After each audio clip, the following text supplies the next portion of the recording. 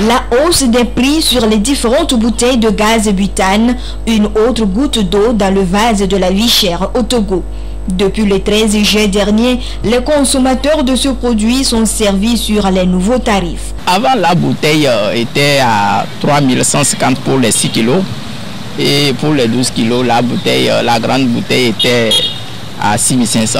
Mais aujourd'hui, la bouteille est à 11 300 pour les 12 kilos et à 5400 pour les 6 kg. Les bouteilles de 3 kg, 25 et 50 kg connaissent le même sort, soit 2700 francs pour 3 kg au lieu de 1560 francs auparavant, 22 600 francs pour 25 kg et 46 200 francs pour la bonbonne de 50 kg. Une augmentation de près de 50% sur les anciens tarifs qui a surpris plus d'un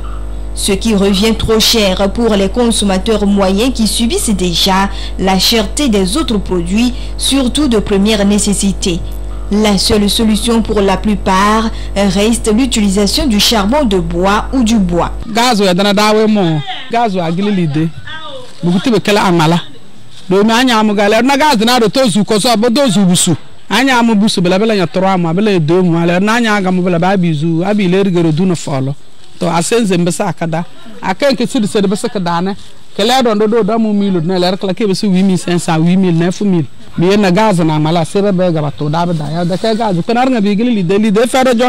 Nyo se tanga ngo da be dan bor na da na didi comme il y a pas l'argent nous sommes obligés de revenir à la base.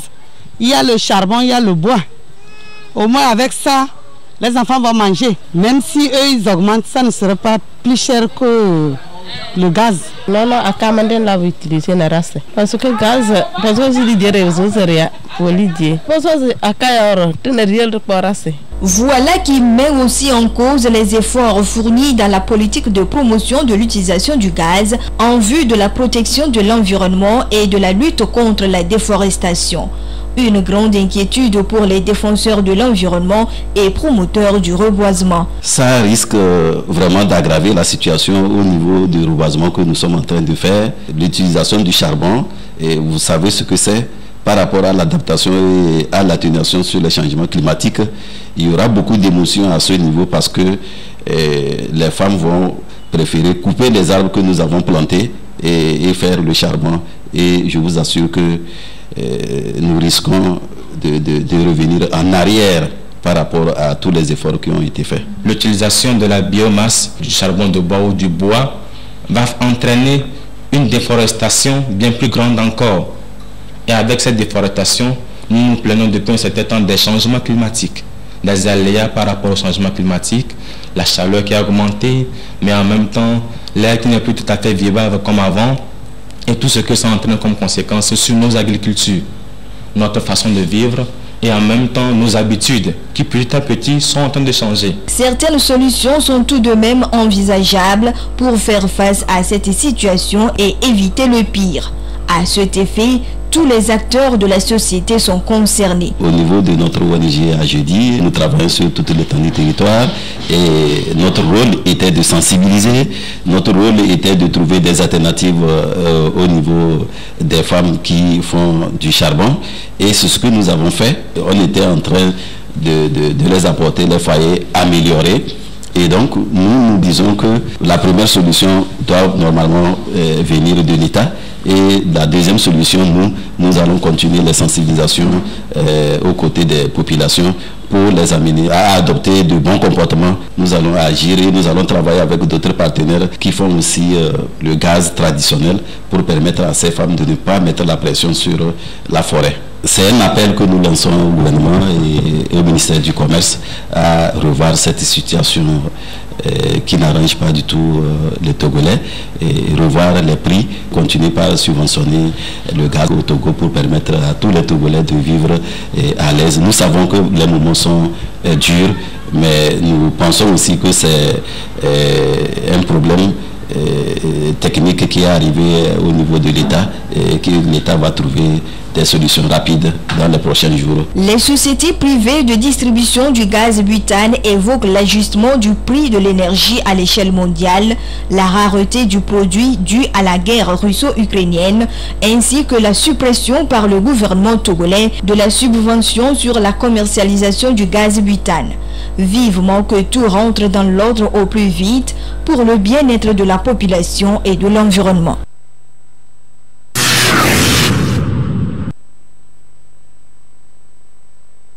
Après quatre semaines de formation, les voici désormais plus qu'aguerris pour davantage remplir à bien leur mission. Eux, ce sont les enseignants volontaires formés à l'INI de Niamchougou.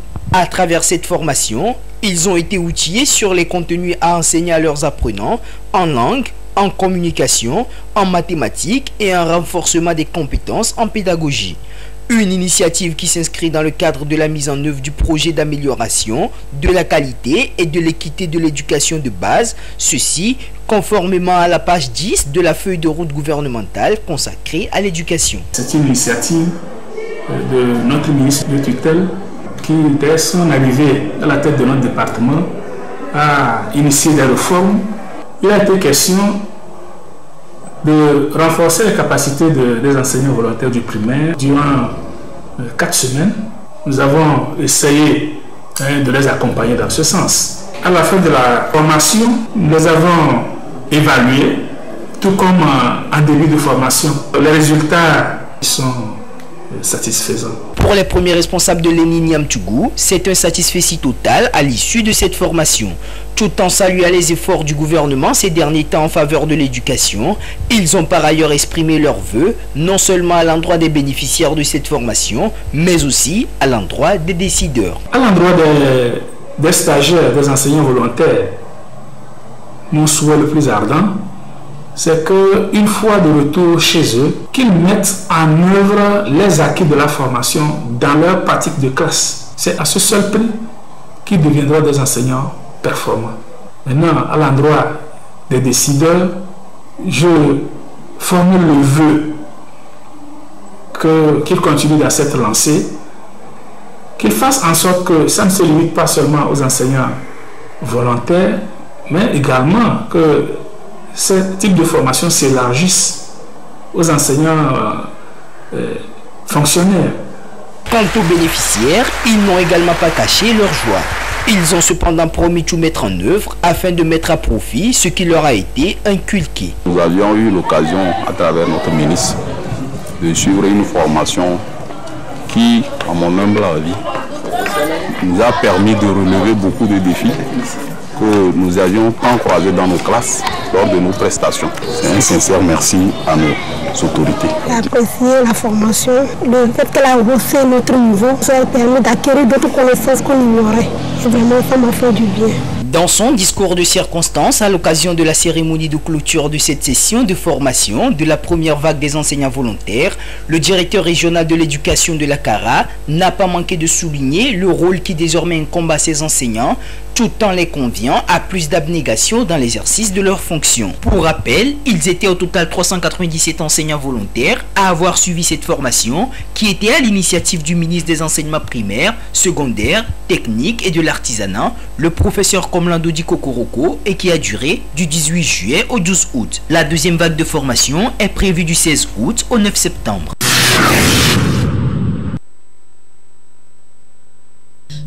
Tour de la campagne nationale de la vaccination de riposte contre la poliomyélite au Togo. L'opération a débuté ce lundi sur toute l'étendue du territoire national après le recensement de deux cas pour le compte de l'année 2022 au Togo. Les autorités sanitaires veulent agir plus vite pour éviter la propagation de la maladie. Et la stratégie utilisée est la vaccination porte à porte. Tout ceci pour éviter et prévenir la poliomyélite caractérisée par la paralysie des membres. Nous avons depuis 2007 été exemptés de cette maladie. Je veux parler de la poliomyélite. Cependant, depuis 2008, nous avons eu des, cas. Il s'agit des cas importés. Ce sont des cas qui nous viennent d'autres pays frontaliers. Et le plus récent, c'est en 2022, où nous avons recensé deux cas de poliomyélite. L'un, c'est au niveau de la préfecture de Loti, où il y a un cas importé de paralysie flasque aiguë chez un enfant que nous avons recensé. Le second cas, c'est un cas environnemental, c'est-à-dire que c'est au niveau de la surveillance de l'environnement à travers les eaux que nous avons détecté un autre cas. Et donc, compte tenu du risque de propagation de cette maladie, il s'avère nécessaire que l'on organise une campagne nationale de vaccination contre la poliomyélite. 0 à 59 mois parce que c'est les enfants beaucoup plus à risque de développer cette maladie qui se manifeste par une faiblesse des membres. C'est une maladie qui est causée par un virus et qui est transmise à travers les eaux souillées et les aliments contaminés. Cette campagne de vaccination concerne les enfants de 0 à 59 mois. La Direction générale de la santé d'Agoignivé invite les populations à se mobiliser et à réserver un bon accueil aux agents vaccinateurs pour la réussite de cette campagne de vaccination. La vaccination contre la poliomyélite, c'est le seul moyen de prévention contre cette maladie. Cette maladie n'a pas un traitement. Ces enfants, lorsqu'ils ont cette maladie, soit ils développent la paralysie flasque aiguë des membres supérieurs ou inférieurs, soit ils meurent. Le seul moyen de prévention, c'est la vaccination, qui consiste à administrer deux gouttes de ce vaccin dans la bouche des enfants de 0 à 59 mois. Nous invitons tous les parents d'enfants et les tuteurs à accueillir favorablement ce message que nous leur envoyons de faire vacciner leurs enfants. La vaccination contre la poliomyélite, c'est deux gouttes qu'on met dans les bouches des enfants. Mais la vaccination contre la COVID, c'est par injection. Donc il faut que nous sachions mettre la différence. De lorsque nous arrivons, nous disons ce que nous administrons aux enfants ou bien à toute personne.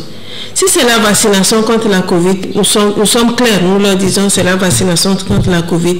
Si c'est autre euh, maladie aussi, nous le disons. Vacciner les enfants contre la poliomyélite, c'est renforcer leur système immunitaire et éviter la paralysie des membres. Démarré lundi, cette campagne de vaccination prend fin jeudi 18 août 2022.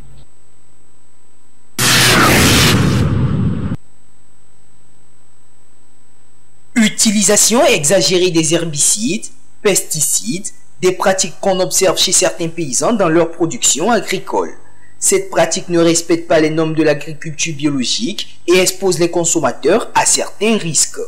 D'où la nécessité de privilégier l'agriculture biologique pour assurer le bien-être sanitaire des populations. L'agriculture biologique fait tout pour que l'aspect chimique ne soit pas utilisé pour produire les produits agricoles. Cette agriculture, elle est bien. Il n'y a pas de risque d'avoir des éléments chimiques. Il y a un certain nombre de risques. Il y a plus de risques avec l'engrais minéral qu'avec les fertilisants organiques. Certains paysans prennent de plus en plus conscience de l'importance de l'agriculture biologique. Cependant, ils ne maîtrisent pas les contours et les différents éléments qui entrent en jeu lorsqu'on parle de l'agriculture biologique. Fondamentalement, il y a l'agriculture biologique à côté de l'agriculture conventionnelle. Souvent on dit bio, bio, bio, mais il faudrait que l'on sache d'où est-ce que ça vient et comment est-ce que ça vient. L'agriculture biologique, c'est celle qui n'utilise pas les engrais et minéraux et celle qui n'utilise pas les pesticides ou bien les produits phytosanitaires chimiques pour faire la fertilisation, on utilise l'engrais vert, on peut, dire le, compost, on peut, les matières organiques, de différentes formes. Hein. Il y a bien sûr le compost, il y a le, fumier dont nous parlons, et puis il y a aussi des, des fertilisants organiques qui sont commercialisés sous forme granulée ou sous forme liquide. L'enjeu, c'est de trouver ces éléments-là les fertilisants, la fumure organique. Lorsqu'on fait une, une grande superficie pour apporter 3 à 5 tonnes, voire 7 tonnes de matière organique à l'hectare et que les gens ont 10, 20, voire 50 hectares, même au-delà d'hectares de céréales, que ce n'est pas facile de trouver ça. Ça nous interpelle si vraiment nous voulons avoir une agriculture biologique très développée. L'agriculture représente une part importante dans l'économie togolaise. Entreprendre des initiatives pour son développement permettra d'assurer l'autosuffisance alimentaire et des actions devront également être menées pour encourager et promouvoir l'agriculture biologique.